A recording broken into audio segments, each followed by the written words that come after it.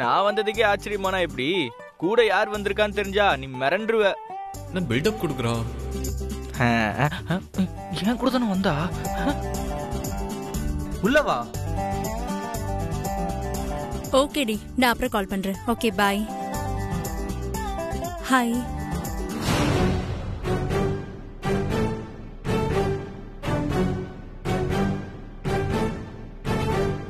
hi hi டே நீ முதல்ல உள்ள வா.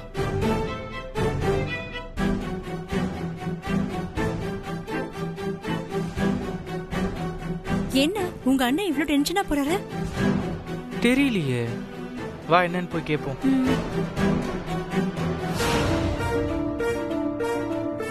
டேய் நீ என்னடா மனசாவை கூட்டிட்டு ஆபீஸ்க்கே வந்திருக்க? நல்ல நேரத்துக்கு அம்மா ஆபீஸ்ல இல்ல. அவங்க மட்டும் இருந்திருந்தா நடக்கிறதே வேற. ஓ நீ அம்மாக்கு பயந்துதான் இவ்ளோ டென்ஷன் ஆனியா பின்ன நீ இப்படி வந்த விஷயத்த ஆபீஸ்ல இருக்கிற வேற யாரும் பார்த்து கூட அம்மா கிட்ட போய் சொன்னாலும் சொல்லிடுவாங்கல்ல? டேய் நீ முதல்ல மானசி கூப்பிட்டு கிளம்புங்க இருந்து. அண்ணன் நீ முதல்ல ரிலாக்ஸ் ஆகு நீ பயப்படுற மாதிரிலாம் எதுவும் நடக்காது. ஏன்னா நாங்களே அம்மாவுக்கு தெரிஞ்சுதான் இங்க வந்திருக்கோம். என்னடா சொல்ற? நாங்க சொல்லாமலே அம்மாக்கு இந்த விஷயம் தெரிஞ்சு போச்சு. ஆனா நல்ல நேரத்துக்கு அம்மா எங்க கல்யாணத்துக்கு சம்மதிச்சிட்டாங்க. நிஜமாவா? ஏன்? நம்ப முடியலையா? ஹ, இப்போ எங்களை ஆபீஸ்க்கு அனுப்பி உங்களை பார்த்துட்டு வர சொன்னதே உங்க அம்மா தான். பட் என்ன பாக்குறதுக்கு எதுக்கு? எல்லாம் மானசாவை இன்ட்ரோ கொடுக்கதான் நீ முன்கூட்டியே அவங்கள மீட் பண்ணிட்டேன்ற விஷயம் அம்மாக்கு தெரியாதுல்ல. நானும் அப்படியே சொல்லிக்க வேணாமேன்ட்டு ஜாலியா கிளம்பி வந்துட்டேன். கேட்கவே ரொம்ப ஹாப்பியா இருக்குடா. இவ்ளோ சீக்கிரத்துல ஒரு நல்ல முடிவு கிடைக்கும்னு நாங்களும் எதிர்பார்க்கல. எல்லாம் காட்ஸ் கிரேஸ் ஜீவா அப்பா கூப்பிடுறாரு. நான் பேசிட்டு வந்துடுறேன்? சரி. எப்படியோடா? நினைச்சதை சாதிச்சிட்ட இந்த விஷயம் வீட்டுக்கு தெரிஞ்சா பெரிய பிரச்சனையோட நான் பயந்துகிட்டே இருந்தேன். ஆனா அம்மா உடனே இதுக்கு சம்மதிப்பாங்கன்னு நான் நினைச்சு கூட பார்க்கலடா. நீ ஒரு பொண்ணை விரும்புறது தெரிஞ்சு உனக்காக எவ்வளவு நியாயமான ஒரு முடிவு எடுத்திருக்காங்க பாத்தியா?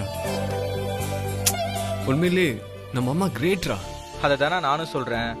நீ உன் மனசுல இருக்கிறத அம்மா கிட்ட சொன்னினா கண்டிப்பா அதையும் அவங்க புரிஞ்சுப்பாங்க. நான் மானசாவை தான் கட்டிப்பேன்னு அம்மா கிட்ட பிடிவாதம் புடிச்சு சொன்ன மாதிரி நீயும் வானதிய கட்டிக்க உனக்கு விருப்பம் இல்லைன்னு தைரியமா சொல்லுன. அம்மா உன்கிட்ட புரிஞ்சு நடந்துக்கணும்னா அதுக்கு நீ முதல்ல உன் மனசுல இருக்கிறத அவங்க கிட்ட பேசணும். பேசுவியா? சொல்லுன பேசுவியா? பேசுறேன்டா.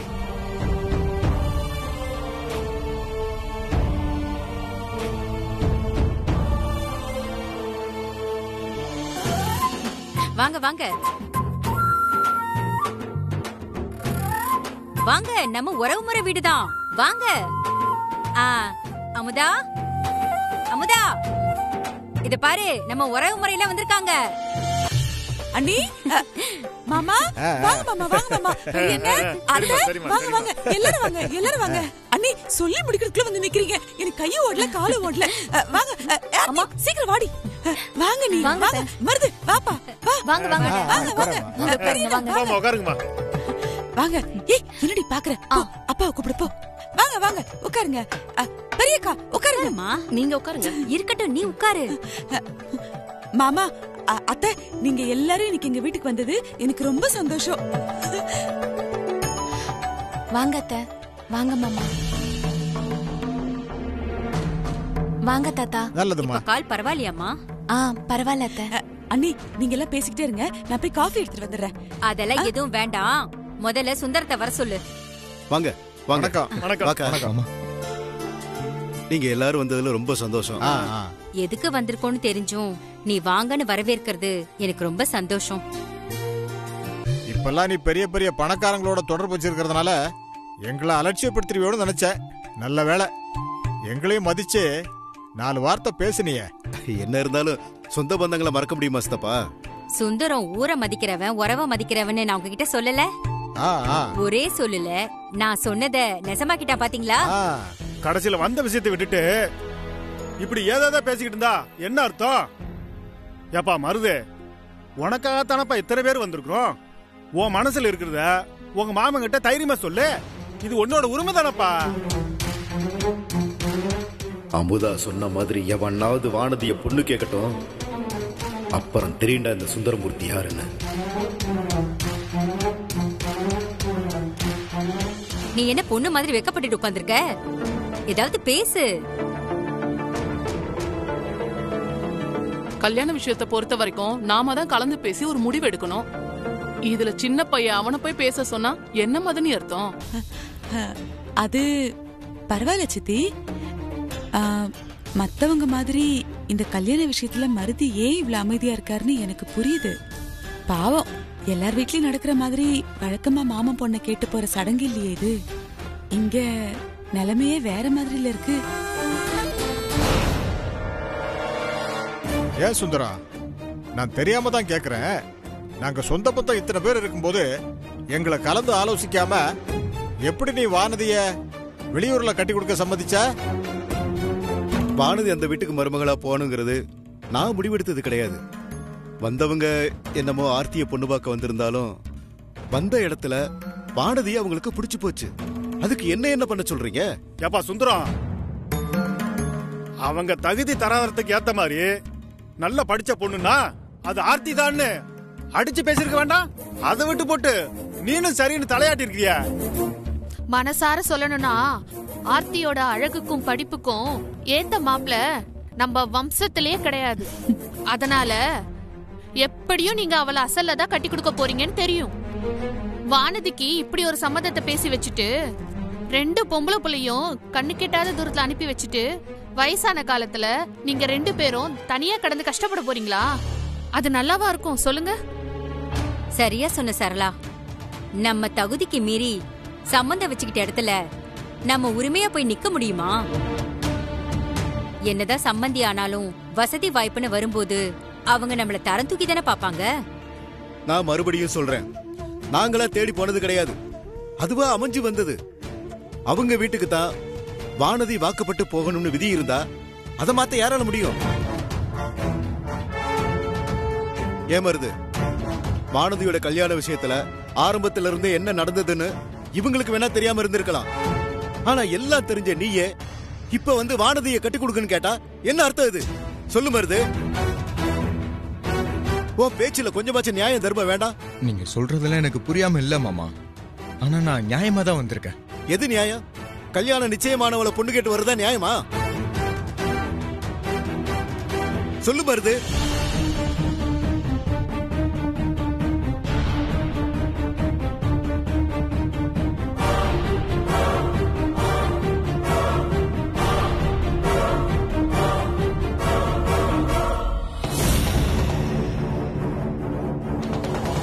நினைக்கிற மாதிரி நான் வானதிய பொண்ணு கேட்டு வரல. ஆர்த்திய.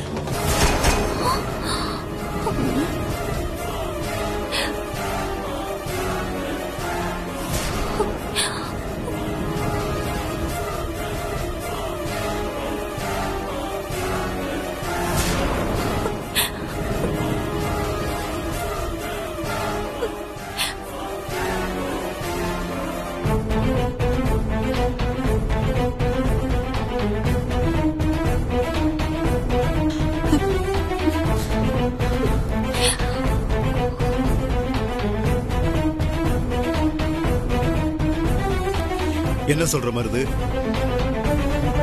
நிச்சயமான பொண்ணை கட்டி கொடுங்கன்னு கேக்குறது முறை இல்லைன்னு எனக்கும் தெரியும். அதனால தான் உங்களோட ரெண்டாவது பொண்ணு ஆர்த்திய எனக்கு கட்டி கொடுங்கன்னு கேக்குறதுக்காக வந்திருக்கேன். நல்ல கதையா இருக்கே நீ கேக்குறது? ஆ? ஏமருது நியாயமா இருக்கா நீ பேசுறது? இப்பதானே எல்லாரும் வாய்க்கு வாய் சொன்னாங்க. என் பொண்ணை கட்டிக்கிறதுக்கு நம்ம பரம்பரையிலே ஆள் இல்லைன்னு. அப்படி இருக்கும்போது நீ என் பொண்ணை கொடுன்னு கேக்குற? உனக்கு என்ன தகுதி இருக்கு? நான் ஆம்பளன்ற தகுதி எனக்கு இருக்குத இவளும் என் மாமன் பொண்ணு தானே? ஆனதி தான் இல்லைன்னு ஆயிப்போச்சு. நமக்குள்ள உறவு நீடிக்கிறதுக்கு ஆர்த்தியை வாச்சும் எனக்கு கட்டி கொடுங்க. இங்க பாரு மருது. உனக்கு பொண்ணு கொடுக்கறதுல எனக்கு எந்த பிரச்சனையும் கிடையாது மருது. அதுவும் இல்லாம ஏற்கனவே கல்யாணம் பேசி நிச்சயமானவளை நீ கேட்டு வந்திருக்கன்னு நினைச்சுதான் நான் இப்படி எல்லாம் பேசிட்டேன். ஆனா ஆர்த்தியத்தை நீ கல்யாணம் பண்ணிக்கணும்னு வந்திருக்கேனா?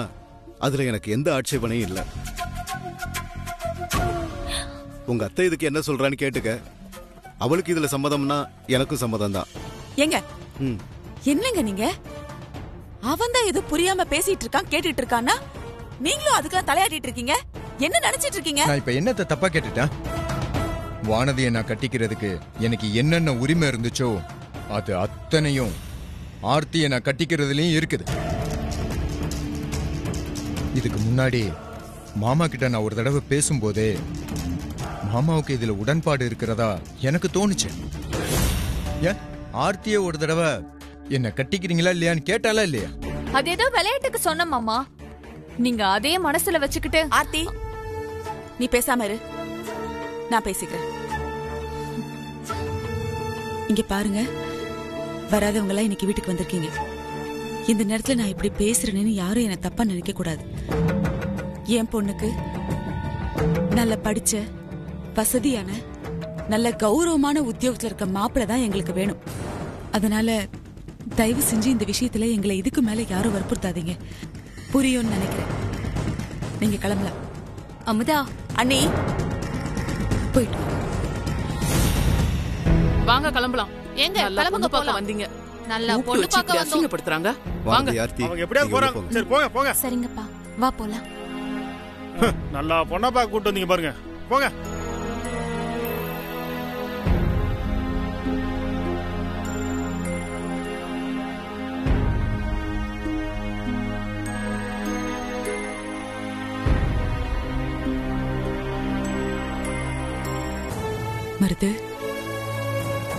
எவ்வளவு நம்பி இருந்தேன் ஏன் இப்படி பண்ணிட்ட? என் மனசுக்கு சரின்னு தோணுனதை நான் கேட்டேன். இதனால உங்களுக்கு எதுவும் வருத்தம் ஏற்பட்டிருந்தா என்ன மன்னிச்சிருங்க தான் நான் வர்றேன் தா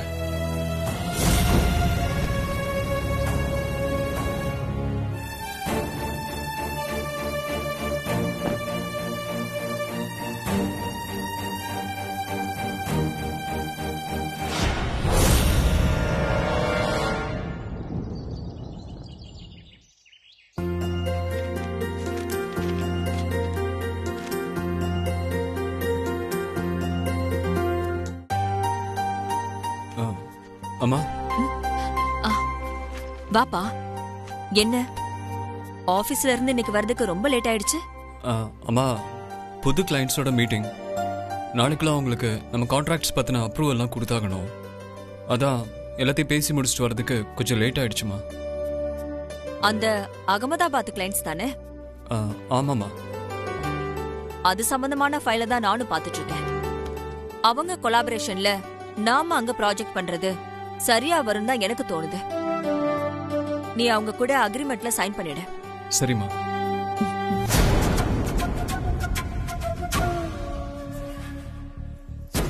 ஆ, அம்மா. அப்புறம் ஜீவா இன்னைக்கு ஆஃபீஸ்க்கு வந்தா? ஜீவா மட்டும்தான் வந்தானா என்ன? இல்லைம்மா. கூடவே அவன் லவ் பண்ணுற பொண்ணையும் கூட்டு வந்தா. அவங்க ரெண்டு பேருக்கும் நீங்கள் கல்யாணம் பண்ணிக்க சம்மதிச்சிட்டதா சொன்னோம்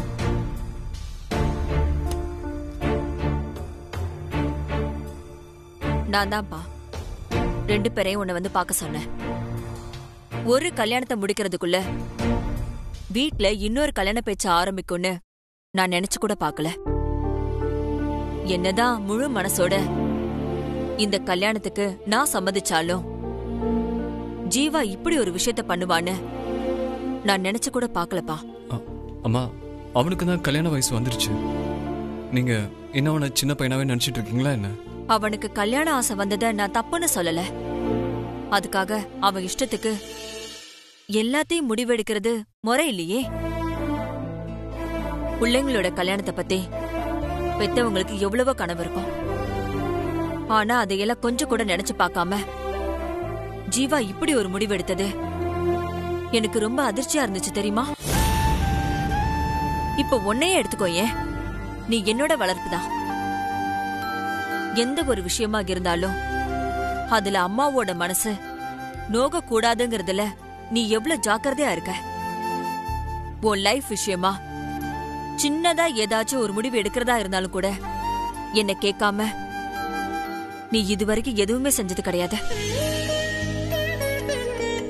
உன் கல்யாண விஷயத்த கூட என்ன நம்பிதானேப்பா? நீ எல்லா பொறுப்பையும் ஒப்படைச்ச? வீட்டுக்கு மூத்தவ? நீயே அம்மாவோட மனசறிஞ்சு நடந்துக்கணும்னு நினைக்கும் போது உன் தம்பிக்கு மட்டும் ஏன்பா அது தோணாம போச்சு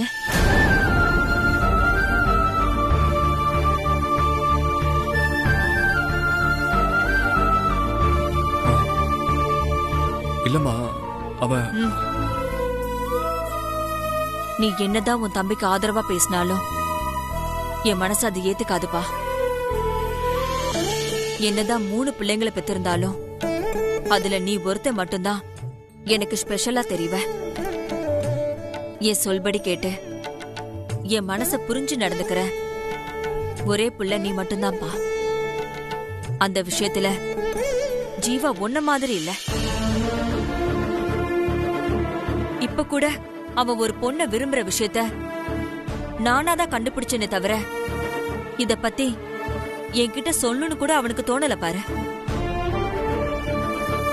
உன் கல்யாணத்துக்காக நான் எவ்வளவு ஜாதகம் பார்த்து எந்தெந்த ஊரெல்லாமோ பொண்ணு தேடி கடைசியா வானத்தைய உனக்கு நிச்சயம் பண்ணேன் அதே மாதிரி அவனுக்கு பொருத்தமான ஒரு பொண்ணையும் நானே பார்த்து கட்டி வைப்பேன்னு அவன் யோசிக்க கூட இல்லல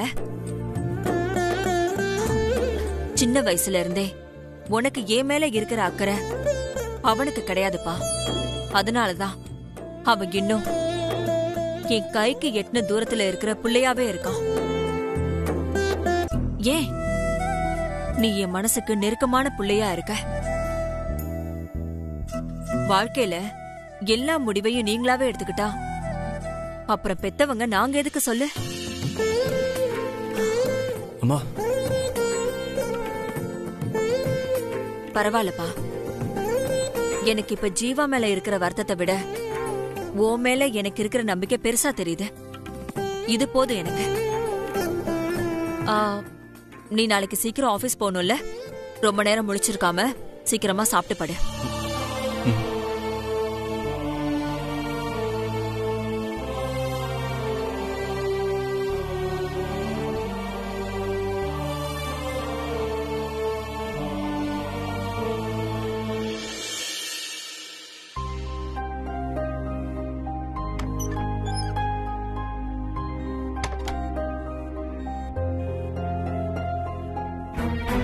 எங்க நில்லுங்க. நான் ஒருத்தங்க குத்துக்கல்லு மாதிரி நிக்கிறேன். கண்டு காணாம நீங்க பாட்டுக்கு போனா என்ன அர்த்தம்? அத அமைதியத்தான் சொன்னா என்ன அமுதா? ஏன் இப்படி கத்துற? ஓஹோ. நீங்க பண்ண காரியத்துக்கு உங்களை கொஞ்சம் வேற சொல்றீங்களா? இல்ல நான் தெரியாம தான் கேக்குறேன். என்ன தைரியத்துல நீங்க அந்த மருதுவுக்கு ஆர்த்தியை கட்டி கொடுக்கறதுக்கு சம்மதம் சொன்னீங்க? ஏன் பொண்ணு எங்க அக்கா பையனுக்கு கட்டி கொடுக்கறதுக்கு சம்மதம் சொல்ல இதுல தைரியம் என்ன வேண்டியிருக்கு? அவன் கேட்டது எனக்கு நியாயமா பட்டுச்சு. அதனால சரின்னு சொன்னேன். எது? கிளிய வளர்த்து குரங்கு கையில குடுக்கறதா உங்க நியாயமா? நல்லா இருக்குங்க. அக்கா குடும்பத்து கூட சேர்ந்ததும் பழசெல்லாம் உங்களுக்கு மறந்து போச்சு போல இருக்கு. உங்களை எல்லாம் என்னங்க சொல்றது உங்கள? அந்த மருது எப்பேற்பட்ட கேடு கெட்டவன் இந்த உலகத்துக்கே தெரியும். அவனுக்கு போய் நம்ம ஆர்த்தியை கட்டி கொடுக்கறதுக்கு உங்களுக்கு எப்படிங்க மனசு வந்தது? நீங்க ஒரு அப்பாவா? அந்த வானத்திய மட்டும் நல்ல வசதியான பணக்கார வீட்ல நல்ல கௌரவமான உத்தியோகம் பாக்குறவனுக்கு கட்டி வைப்பீங்க. ஏன் பொண்ண மட்டும் இந்த கேடு கெட்டவனுக்கு கட்டி வச்சு கஷ்டப்பட வைப்பீங்களா? நாம இருக்கிறப்ப அவளை அப்படி கஷ்டப்பட விட்டுருவோமா என்ன? அதெல்லாம் அவன் அவளை நல்லா பாத்துக்குவாமா எனக்கு அந்த நம்பிக்கை இருக்குது. அமுதா நீ சொல்ற மாதிரி அவன் முன்னால அப்படி இருந்திருக்கலாம். ஆனா அவன் தான் இப்ப திருந்திட்டதா சொல்றானே? திருந்திட்டேன்னு அவன் சொன்னான்னா அத நம்ப சொல்றீங்களா? ஆ? அப்படியே இருந்தாலும் அவன் செஞ்ச பாவம் எல்லாம் இல்லன்னு ஆயிடுமா வந்துட்டார். ஊருக்குள்ள போய் கேட்டு பாருங்க. அவன் செஞ்ச காரியத்துக்கெல்லாம் அவனுக்கு சாபம் கொடுக்காத ஆளுங்களே கிடையாது. ஏன் பிள்ளைய அவனுக்கு கட்டி வச்சு அந்த பாவத்துல எல்லாம் அவளை பங்கெடுத்துக்க சொல்றீங்களா? ஆர்த்தி அவன் கட்டிக்கிறேன்னு சொன்னதுக்கு நீ இவ்வளவு பேசுறியே? இந்த தெளிவு வானதி அவன் பொண்ணு பார்க்க வர்றதா சொன்னப்ப ஏன் இல்லாம போச்சு? இது விஷயமா எங்க அக்கா உனக்கு ஃபோன் பண்ணும்போது வெட்டு ஒன்னு துண்டு ரெண்டா நீ பேசியிருந்தேனா? இவ்வளவு தூரம் இந்த பிரச்சனை வந்திருக்காதுல்ல? அது அப்போ நான் ஏதோ குழப்பத்துல இருந்தேங்க. அதனால அவங்க என்ன சொல்றாங்கன்னு கூட எனக்கு முழுசா புரியல. அவங்க சொல்றதுக்கெல்லாம் சரி சரின்னு சொல்லிட்டேன். எல்லாம் தெரிஞ்ச நீங்க இருக்கீங்கல்ல? நீங்க இந்த மாதிரி பேசினதா எனக்கு ரொம்ப அதிர்ச்சியா இருக்கு. இங்க பாருங்க. நான் ஆர்த்தியோட கல்யாணத்துல ஆயிரத்தெட்டு கனவை மனசுல சுமந்துட்டு இருக்கேன். அது அத்தனையும் நீங்க ஒரே நிமிஷத்துல சுக்குநூறாக்க பாத்தீங்கல்ல? இத பாரு. ஆர்த்திய நான் மருதுக்கு கட்டி கொடுக்கறதா சொன்னாலும் ஓ விருப்பம் இல்லாம செய்ய மாட்டேன்னு சொன்னனா இல்லையா?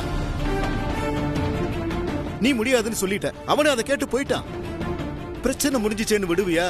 இன்னும் ஏன் அதை பத்தியே பேசிக்கிட்டு இருக்க? அது எப்படிங்க விட முடியும்? வானதிய பொண்ணு கேட்டு வந்தவன் திடீர்னு ஆர்த்திய கொடுங்கன்னு கேக்குறான். அதுக்கு என்ன காரணம்னு நம்ம தெரிஞ்சுக்க வேணாமா? அந்த காரணத்தை தெரிஞ்சுக்கிட்டு நீ இப்ப என்ன பண்ண போற? சாதாரணமா முடிய வேண்டிய விஷயத்த தேவையில்லாம பிரச்சனையாக்க நினைச்சேன்னு வையே. கடைசியில் அது உனக்கு தான் இடைஞ்சலா வந்து முடியும். அதை புரிஞ்சுக்கிட்டு ஒழுங்கா இருக்க பாரு. இப்படி ஏதாவது சொல்லி என் வாயை அடைச்சிருவீங்கல்ல? நல்ல ட்ரிக்க கத்து வச்சிருக்கீங்க. என் தலையெழுத்துங்க என் புள்ளைய ஒரு நல்ல இடத்துல கட்டி கொடுக்கற வரைக்கும் நான் என் வயித்துல நெருப்பு கட்டிக்கிட்டு இருக்கேன். இதெல்லாம் உங்களுக்கு எங்க புரிய போகுது? எப்படியோ போங்க.